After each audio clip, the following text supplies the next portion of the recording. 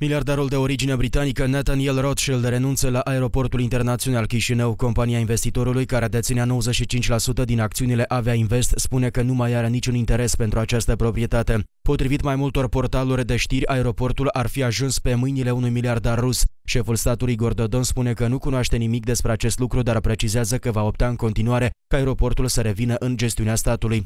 NR Investments Limited a anunțat printr-un comunicat de presă că renunță la aeroportul internațional fără a oferi detalii despre motivele care au stat la baza deciziei sale. Nici autoritățile n-au fost prea darnice în informații. La conferința de după ședința deja tradițională de la începutul săptămânii, Igor Dodon a spus că a aflat din presă despre decizia miliardarului britanic.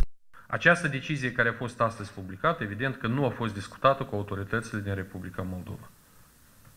3.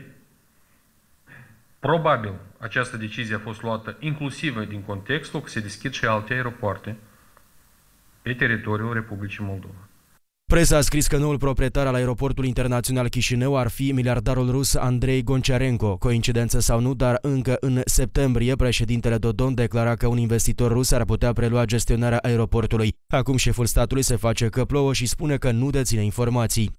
Nu cunoaștem despre așa ceva. Ministrul Economiei și Infrastructurii, Anatolu Sate, a declarat că nu cunoaște despre această tranzacție și că va veni ulterior cu un comentariu. Anunțul a strânit deja reacții în rândul unor politicieni. Deputatul PAS, Mihai Popșoi, crede că preluarea aeroportului de către un investitor rus ar însemna un adevărat pericol pentru țara noastră. Riscurile la adresa securității Republicii Moldova ar fi mult prea mari pentru ca un uh, obiect de importanță strategică să ajungă Uh, în mâinile unor forțe care uh, și așa au trupe prezente pe teritoriul Republicii Moldova, care uh, sunt în război deschis cu vecinii noștri din, din Ucraina.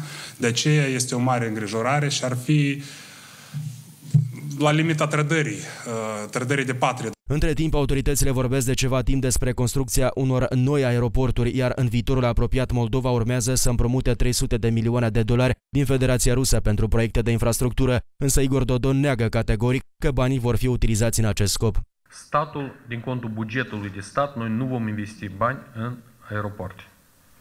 Banii care împrumutăm urmează să fie utilizați pentru proiecte de infrastructură.